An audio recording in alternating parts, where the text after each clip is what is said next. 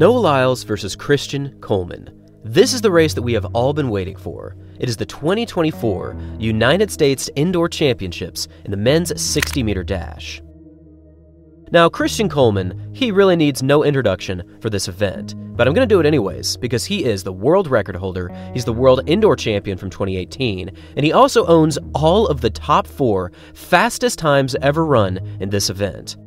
Coleman's ability to achieve fast times stems from his insane starts, where he typically gaps the field with an explosive 20 or 30 meters, but he also gets to top speed very fast, which is a deadly tool in the 60 meters. Now, the primary rival against Christian Coleman is Noah Lyles, the 2023 world champion in the 100 and the 200 meters. Now, for 2024, Lyles has really been on fire, going undefeated in the 60 and also dropping his season's best to 6.44, which ties him at number 11 all time.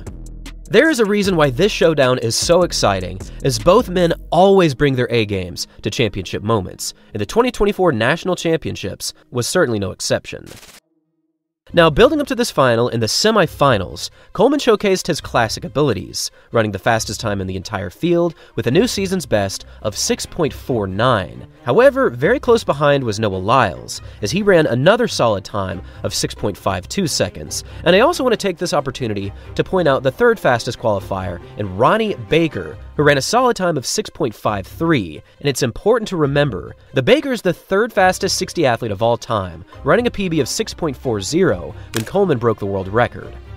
It has been a very exciting year in the men's 60 meter dash, with new faces emerging breaking 6.5, but also with Noah Lyles and Christian Coleman inevitably reaching this showdown in the United States finals. So now, with a very quick final assembled and all of the athletes ready to race, who will win this men's 60 meter finals in the national championships.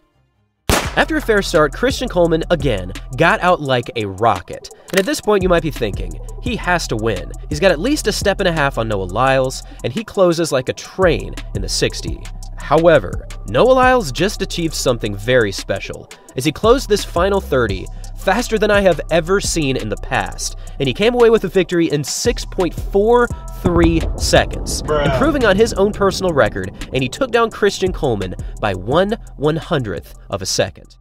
This is a very special moment. Noah Lyles has been gunning for Christian Coleman in the 60 meters for years. In fact, it might be close to a decade at this point. And Christian Coleman really has been the standard when it comes to the 60. But finally, with an epic close and a solid lean also, Noah Lyles just came out on top in this year's Nationals. I really can't believe that Noah Lyles made up this deficit. In fact, over the first half, I thought to myself, this is exactly what many people thought would happen. Christian Coleman just gets out way too fast, and Noah Lyles, even though he can close very fast, just doesn't have the speed to catch him. But today, the script was finally flipped. And this really does mean something pretty crazy for Noah Lyles, because catching Coleman in this event has to be one of the biggest goals that Noah Lyles has had in his career. With this single win, I firmly believe that Noah Lyles just figured out a way to completely separate from the field after 60 meters. I honestly can't imagine anyone else, at least at this point in 2024, matching Noah Lyles in the 100 or even the 200 meters. He just finally has his opening 60 meters figured out. Now, finishing in third was in fact Ronnie Baker in 6.53, and finishing in fourth was Emmanuel Wells in 6.56. It's actually pretty crazy to see this entire field breaking 6.6. However, this 6.43 was quite the shocking moment to see, and Noah Lyles and Christian Coleman together simply have to be the top two favorites moving into this year's World Indoor Championships. And I actually think that Christian Coleman does have some solid momentum here. If you look at his season's progression, he has been dropping times like crazy, starting his season at 6.51 and consistently getting down to the mid 6.4s. But if he continues to impress with his start and he can get that closing speed down, I think he and Noah Lyles could get close to 6.40, which would really be some next level sprinting because that would place them in the top three all time.